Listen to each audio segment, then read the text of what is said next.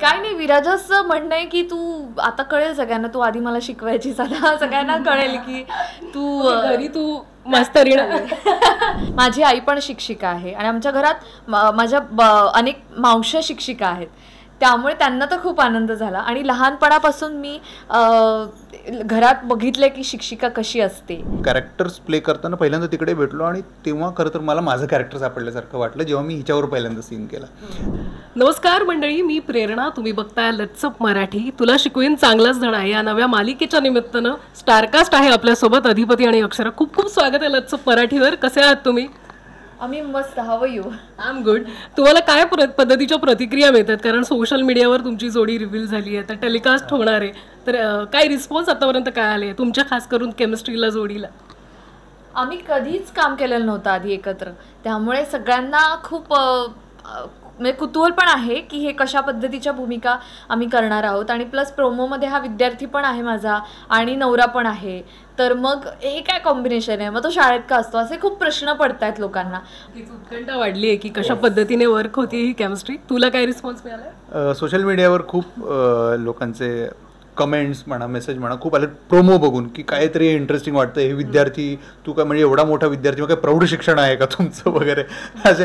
आणि शिवानी मास्तरेणबाई बनून कसं वाटलंय तुला? मला खूप छान वाटतंय. गमतीची गोष्ट अशी की माझी आई पण शिक्षिका आहे. आणि आमच्या घरात माझ्या ब- अनेक मावश्या शिक्षिका आहेत.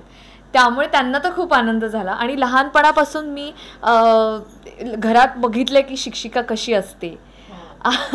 त्यामुळे मी तिला डोळ्यासमोर आणते आणि काम करते. आणि एकूण खूप मज़ा आहे कारण ऋषी म्हणला तसं लहान मुलांबरोबर काम करताना ना त्यांची एनर्जी आपल्यामध्ये येते. हो. त्यामुळे ते वर्गातले सीन्स वगैरे करताना मला खूप खूप मज़ा येते. खरं खरं पण तुझ्या आयुष्यातील मास्तर असतील जे तुझ्या कायम ज्या फिमेल टीचर्स असतील ज्या कायम लक्षात आहे त्यांचं नाव या निमित्ताने घ्यावं असं वाटतं किंवा तू रिकलेक्ट केलंस ते तुझ्या कॅरेक्टरमध्ये असं?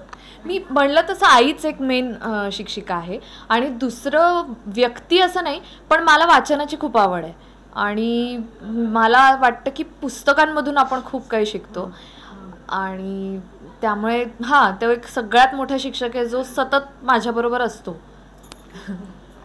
पण ऋषी तू तुमच्या दोघांची एकत्र भेट असेल जेव्हा पहिल्यांदा तुम्ही सेटवर भेटलात किंवा जेव्हा कळालं की या सिरियलमध्ये एकत्र व्हॉट वॉज़ दॅट आम्ही भिवंडीला शूट करत होतो आणि तेव्हा आम्ही पहिल्यांदा एकत्र भेटलो एकत्र सीन केला. त्याच्या आधी लुकटेसला वगैरे भेटलो होतो पण ते खूपच गडबडीत. तेव्हा काही गप्पा वगैरे झाल्या नव्हत्या. पण कॅरेक्टर्स प्ले करताना पहिल्यांदा तिकडे भेटलो आणि तेव्हा खरं तर मला माझं कॅरेक्टर सापडल्यासारखं वाटलं जेव्हा मी हिच्यावर पहिल्यांदा सीन केला. त्याच्या आधी मी शूट केलं होतं दोन तीन दिवस पण तेव्हा चाचपडत होतो. जेव्हा हिच्याबरोबर पहिल्यांदा काम केलं तेव्हा मला अधिपती सापडल्यासारखं वाटलं जेव्हा मी अक्षराबरोबर पहिल्यांदा सीन केला.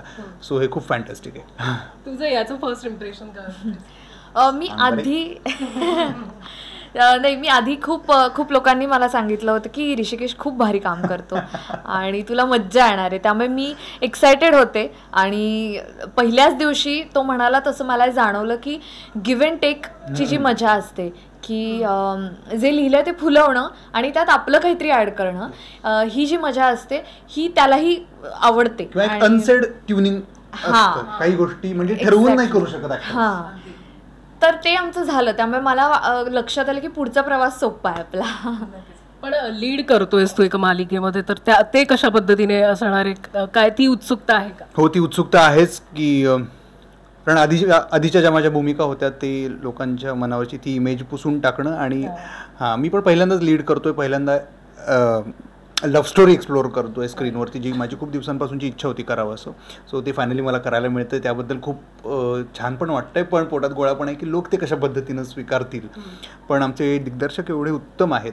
सो त्यांचा हात धरून मी चाललेलो आहे. प्रत्येक पायरीवर ते मला सांभाळून घेतात आणि ते मला माझी प्रत्येक लाईन डिलिव्ह कर डिलिव्हर करताना मला मदत करतात सीन बाय सीन आणि आता ते त्यांच्या साथीनं ते अजून सुकर होत चाललं आहे नक्कीच. शिवानी तू आतापर्यंत वैविध्यपूर्ण भूमिका केलेल्या आहेस स्पेशली मालिकांमध्ये.